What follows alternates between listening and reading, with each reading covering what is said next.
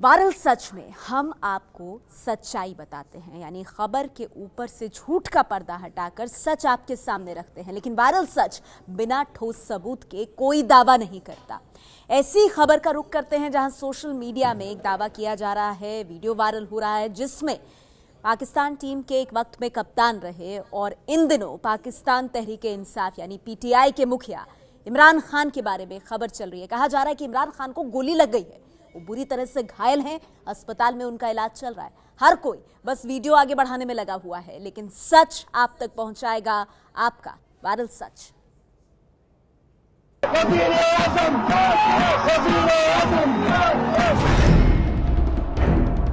Video शुरू होता है तो कुछ लोग दौड़ते नज़र आते हैं। दौड़ रहे सुरक्षा बलों और लोगों को देखकर लगता है जैसे उन्हें कहीं जाने की जल्दी है। दावे के मुताबिक 22 सेकंड के वायरल वीडियो में पाकिस्तान तहरीक इंसाफ के प्रमुख इमरान खान हैं, जिन्हें लोग अपने हाथों में उठाए आगे बढ़ते दिखते हैं।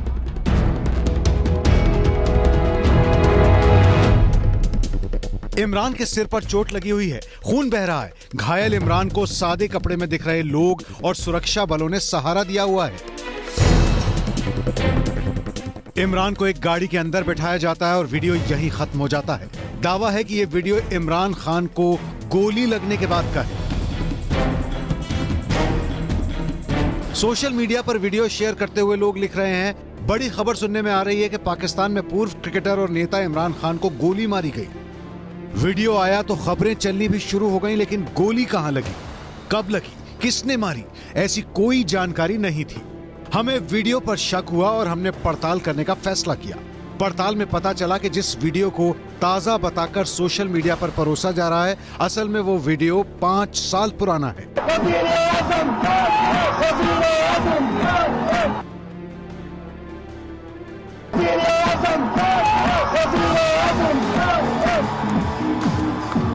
ये देखिए, आपके सामने दो तस्वीरें हैं। बाई तरफ़ सोशल मीडिया पर मौजूद वीडियो है तो दूसरी तरफ़ एबीपी न्यूज़ की लाइब्रेरी में पहले से मौजूद वीडियो। दोनों वीडियो में किसी तरह का कोई अंतर नहीं है। वही कपड़े, वही माहौल। अब आप ये जानिए कि पाँच साल पुराने वीडियो की असल कहानी क्या है।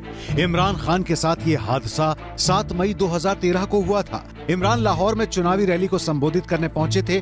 लोगों को संबोधित करने के लिए बनाया गया मंच ज़मीन से करीब 15 से 20 फीट की ऊंचाई पर था। मंच पर पहुँचने के लिए लिफ्ट लगाई गई थी। ऊपर जाने के दौरान संतुलन बिगड़ने की वजह से इमरान और उनके सुरक्षा कर्मी नीचे गिर गए। इस हादसे में इमरान के सिर पर गंभीर चोट आई थी। लेकिन हादसे की पाँच साल पुरानी तस्वीरों को इमरान को गोली लगने के नाम से पेश किया जा रहा है। इसलिए वायरल सच की पड़ताल में इमरान खान को गोली लगने का दावा झूठा साबित हुआ है। ये है एबीपी न्यूज़ आपको रखे आगे।